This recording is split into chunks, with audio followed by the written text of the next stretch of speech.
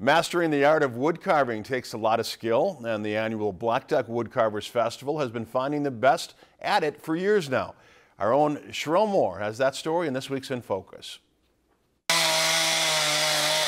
For more than 30 years, wood lovers have traveled all over the country to Blackduck to check out the ultimate one-stop shop for everything pine, cherry, or oak. The festival has come a long way over the decades and now features a lot more than just wood. Within a couple, three years, the arts and crafts uh, start joined in and it became more of a community event and it became a bigger event. We used, we do a lot of shows down in uh, Louisiana, Mississippi, Alabama, Florida. Just very friendly people here, very down to earth. Woodcarvers are hard to come by nowadays, so this show gives those in the field their chance to shine. For many, the journey started with a love for drawing and a little whittling. I love wood. I love the, the grains of wood, and I have an art background, and so being that my mom and dad had all the tools and the paints and everything, I decided to do it. I started carving in high school by hand with a chisel, and I was always interested in it, so I took pictures of everybody's carvings. To be a good wood carver, you not only have to have the skills, you also have to have a creative eye.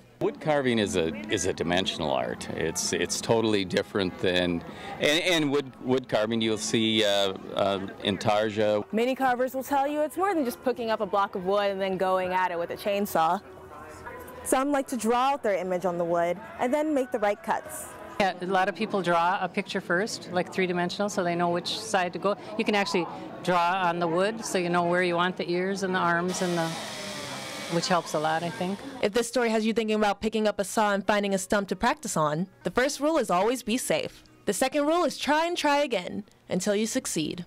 If you enjoy doing crafts and art, that what you could do is just start on your own and, and draw and just whittle things and pretty soon if you start enjoying it you get to see what happens with the wood because everything that's in a piece of wood has something there that needs to be found.